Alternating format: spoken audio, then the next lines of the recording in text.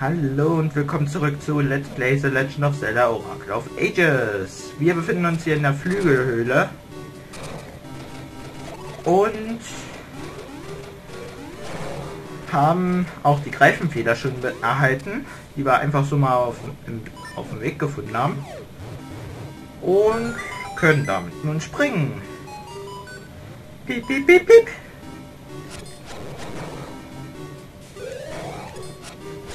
Na. Zack. Danke. Und kleiner Schlüssel. Ich wusste es. Habe ich nämlich gerochen. So.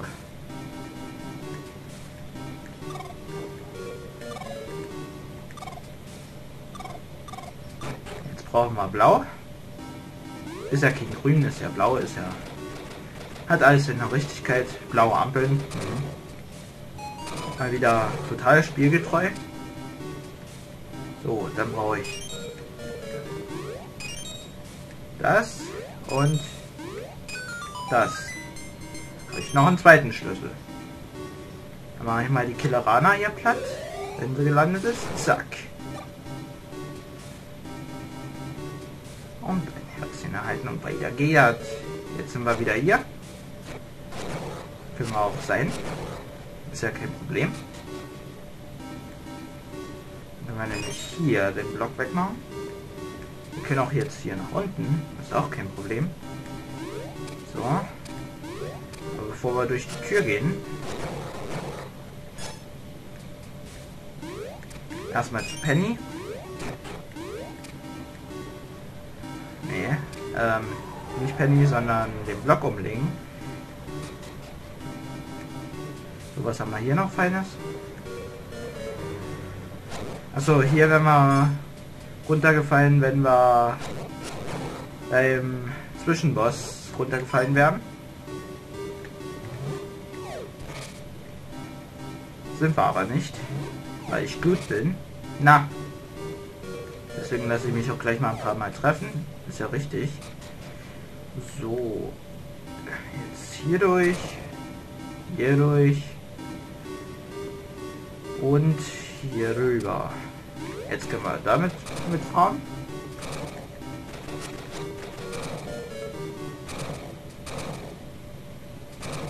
Und fahren weiter. Kommen hier raus.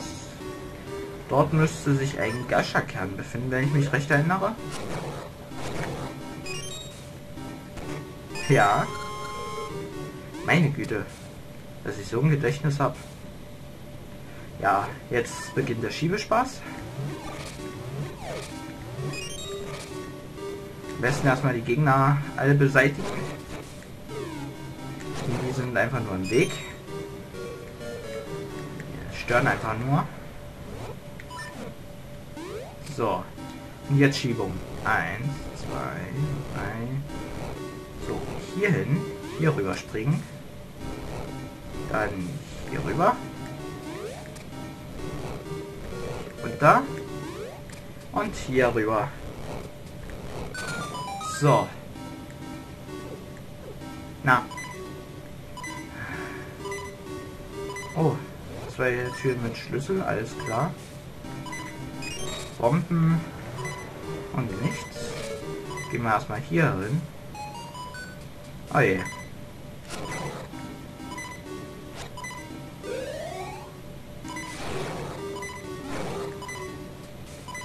So.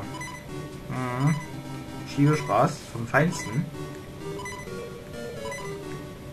Aber erstmal das Gelbe in die Mitte. Das ist... Achso. So ging das. Okay. Zack. So, gelb. Schiebe ich in der Mitte. Dann die nächste Farbe. Blau. Ich hier. Erstmal. Dann kümmere ich mich erstmal um Rot.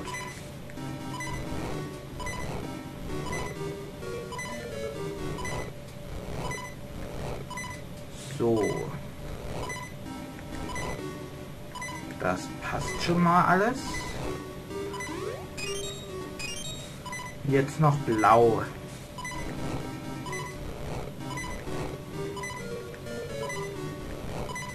So.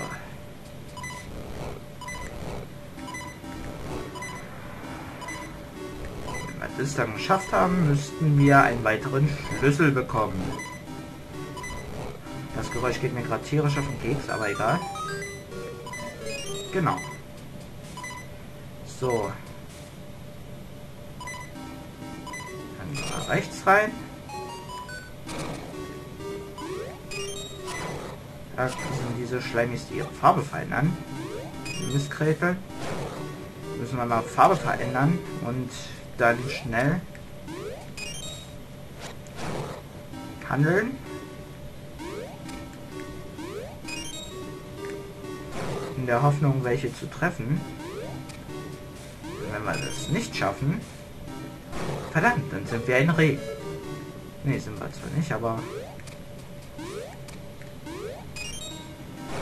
Dann bekommen wir keinen großen Schlüssel. Und so bekommen wir einen großen Schlüssel. Wieso betone ich immer großen Schlüssel? Ist ja auch egal.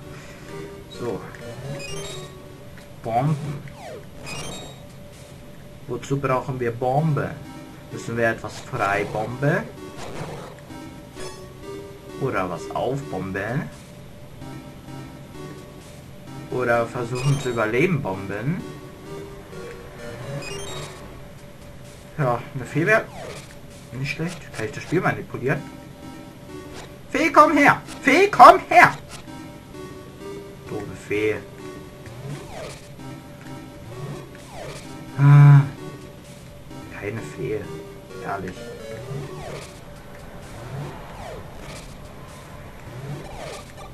Dankeschön.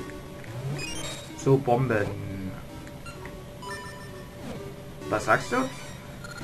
Das rote Antlitz fürchtet Rauch und Donner. Hä? Ja, wie jetzt? Ja, hier brauchen wir kein Schwert.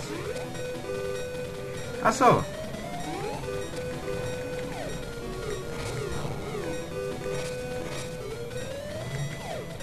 Einfach nur Roulette spielen.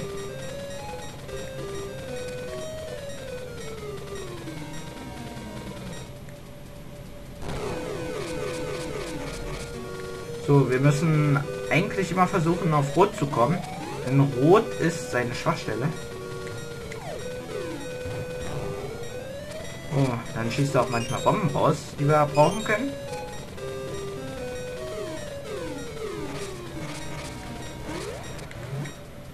Ja, das war rot. Das war eindeutig rot.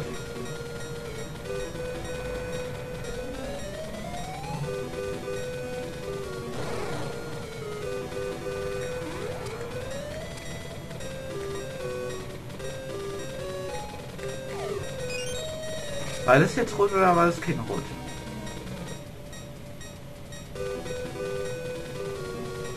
Ja, das war rot. Sehr schön. Wird natürlich auch immer schneller, ist klar. Aber das dürfte eigentlich noch kein Problem darstellen.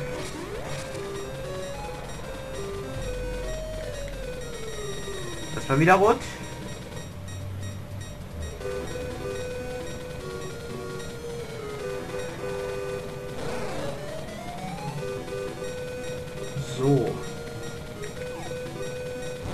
Daneben auch noch.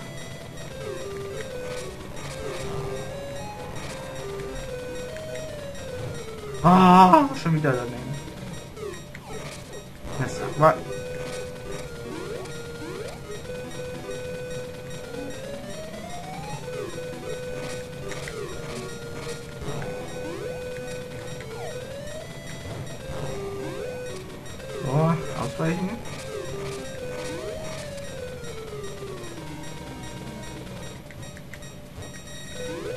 das war nichts. Das war blau, glaube ich. Ja, das war blau. Und blau macht... Oh Gott, Neonkreise.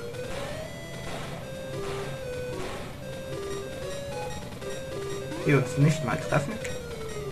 Das war wieder rot.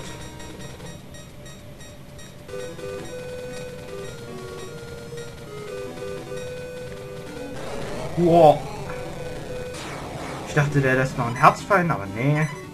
Okay, ein Herzcontainer ist dafür noch umso besser, aber gut. So. Und die zweite Essenz. Es ist das Holz der Antike, eine Essenz der Zeit. Aus der Stille flüstert es die reine Wahrheit in verschlossene Ohren.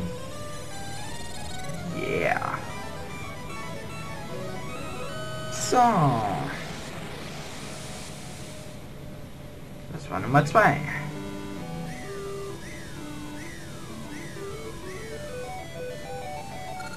Link, ich spüre eine Essenz der Zeit in der südlichen See auf der Sichelinsel. Suche von der Stadtküste aus einen Weg dorthin. Ja, müssen wir tun. Werden wir auch tun. Ah. Keine Ahnung, warum sie mein Gamepad manchmal ausschaltet, aber es ist überflüssig. Also muss ja nicht sein. So, jetzt können wir über solche Löcher springen. Wir haben ja die Greifenfeder. Hier müssen wir zwar noch nicht hin, aber egal. Was ist denn hier überhaupt alles? Können ja schon mal gucken, was... Ah ja. Martha. Zufälligerweise. Oh. Ah! Oh, mein ganzer Kram ist runtergefallen. Ich werde einfach dieses Zeug mitnehmen. Hast du davon eine Morde zu verärgern? Ja, Herzteil. Aha.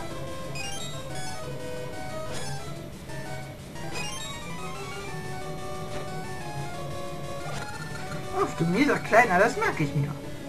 Tja, merkt ihr mal. Also ich merke mir zumindest, dass ich jetzt ein Herzteil mehr habe. So, was ist hier? Ihr macht Witze, oder? So, zack, zack, zack. Das war jetzt reiner Zufall, das wusste ich nicht mehr. Aber egal. Hey, wieso nachfragen?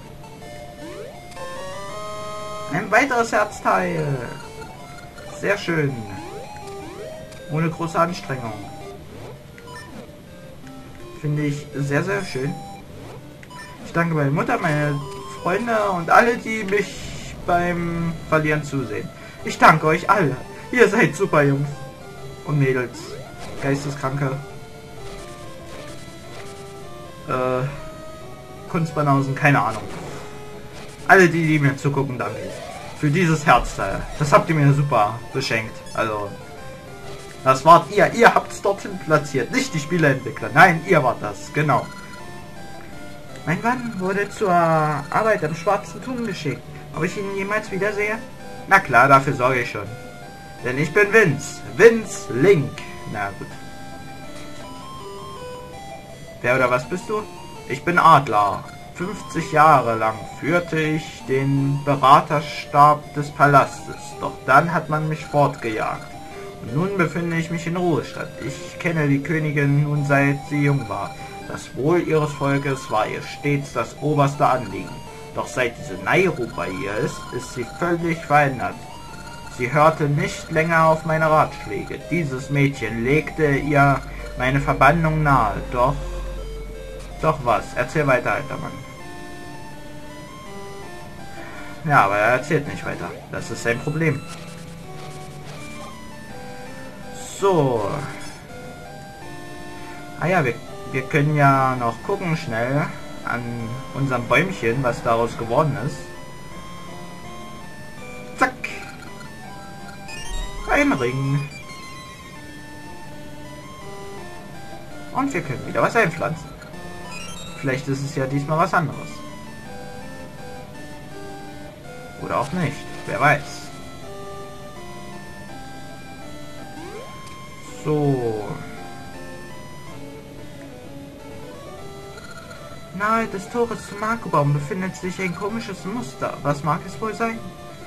Äh, eine Gummiente, ein Schlauchboot, ein Wurstbrötchen, keine Ahnung. So, hier können wir rüberspringen. Nützt uns aber nicht. Und dort hinten ist nochmal ein Fleckchen Erde. Wo wir aber halt, wie gesagt, noch nicht rankommen, weil wir noch nicht schwimmen können. So, ein Häuschen. Ich bin Maru. Ich möchte eines Tages richtig tolle Flöße bauen, mit denen man auf dem Meer segeln kann. Mir fehlt nur noch ein wasserfestes Seil, dann wäre mein Floß komplett. Aber ich finde keines. Es gibt jemanden namens Cheval am östlichen Dorfrand. Er will so ein Seil entwickeln. Aber ich glaube kaum, dass er schon so weit ist. Ah ja. Am östlichen Stadtrand, Cheval. Na, schauen wir mal. Wir können uns ja mal dorthin begeben.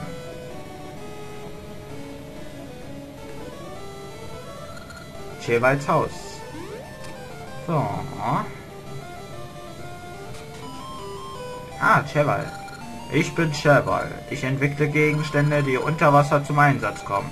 Vor meinem Tod möchte ich die Arbeit an den Schwimmflossen und dem wasserfesten Seil zu Ende bringen. Hoffentlich kann ich allen Menschen helfen, indem ich solche Dinge erforsche. Ja, wir brauchen ein Seil.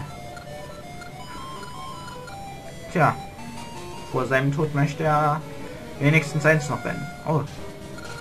Hey, Link. Suchst du etwas Bestimmtes? Wie bitte? Cheval, den Namen kenne ich doch. Genau, ich sah ihn auf einem Grab in unserer Zeit. Aber mir fehlt Zeit zum Plaudern. Ich habe zu tun. Bis später. Er muss in der Zukunft ja schon was fertig gemacht haben. Also zuerst hat er die Schwimmflossen erwähnt. Also müssen die ja in der Zukunft fertig sein, weil er sich darauf spezialisiert hat. Zuerst.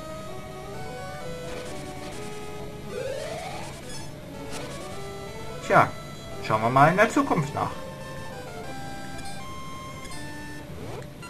Harfe.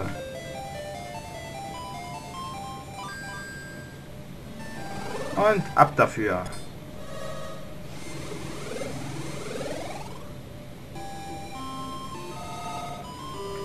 So, Grabstein.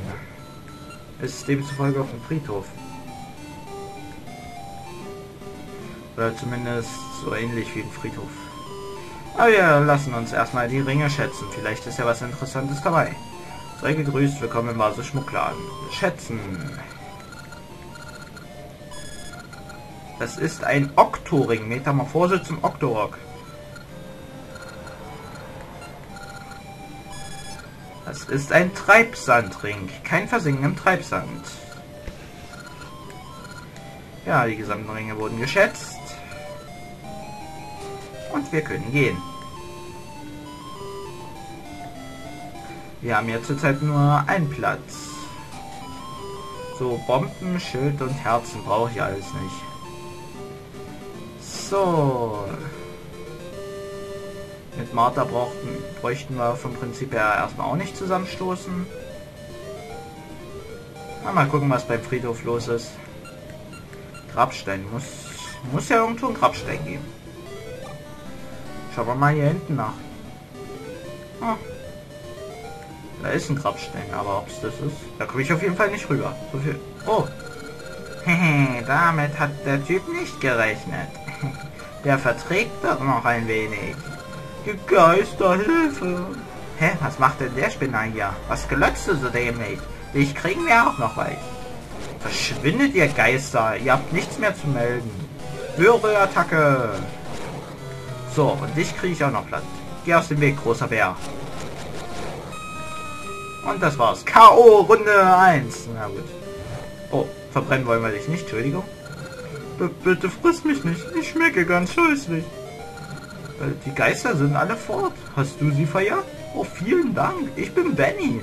Eventuell kann ich dir weiterhelfen. Klettere auf meinen Rücken. Drücke mehrfach A, um zu schweben oder halte den Knopf gedrückt, um auf den Boden zu donnern. Doch Wasser ist meine Schwäche. Die seichten Gewässer sind kein Problem, aber tiefe Stellen schon. Tja, der liebe Freund Benny ist wasserscheu. Aber drückst du mehrmals A, schwebe ich. Auf diese Weise kannst du über die Gräber durchqueren. Ja, nämlich so. Gut. Ah.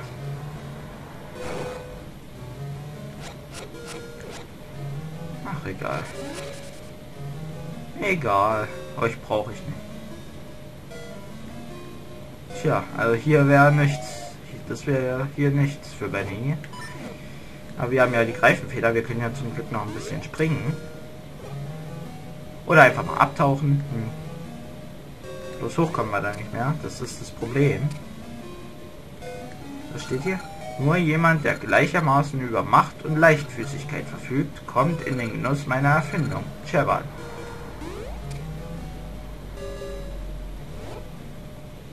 Nein, das wollte ich nicht, das wollte ich.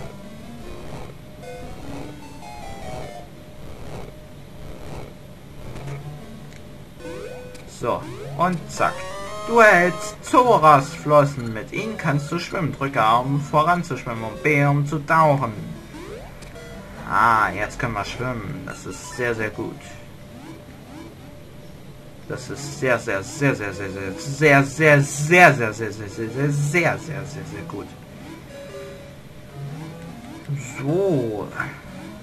Ah, ein Schewaltau. Dieses robuste Seil ist absolut seefest.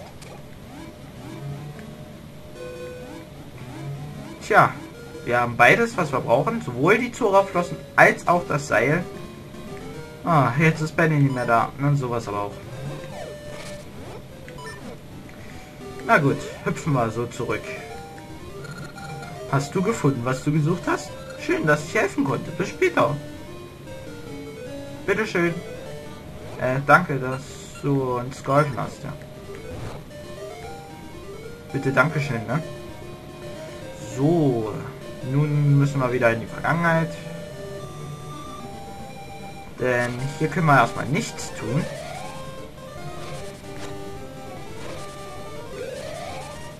Ja, Kanumkerne, gut. Kann man auch mal gebrauchen. Herz auf jeden Fall. So. Blutkerne, okay.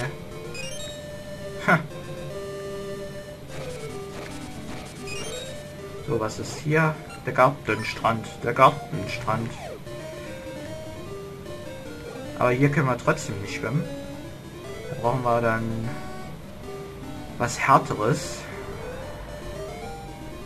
nämlich ein Floß oder einen tierischen Helfer. Ist auch möglich. Ein besonderer tierischer Helfer. Es gibt ja die drei wieder. Wenn wir Benny hier schon gesehen haben, gibt es ja demzufolge auch die anderen beiden. Nämlich äh, Dimitri und Ricky. So. Hier ist nichts mehr. Alles weg, alles weg. So.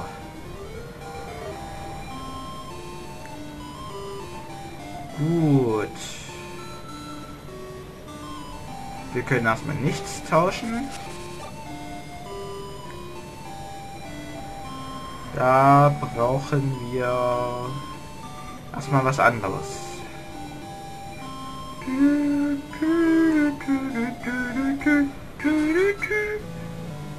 Hi, ciao, auf Wiedersehen. So, wieder Harfe spielen.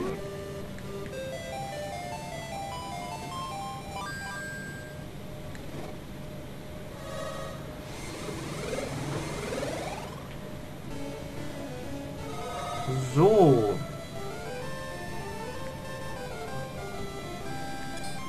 Gut, gut, gut, gut. Jetzt können wir das Seil abgeben.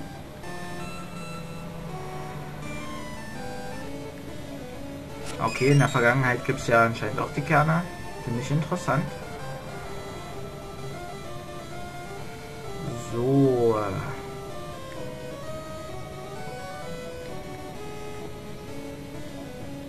Wir schnell das Seil ab. Hey, das ist es. Mit dem Chebatau könnte ich endlich das Floß fertig machen. Bitte gib mir dieses Seil. Okay.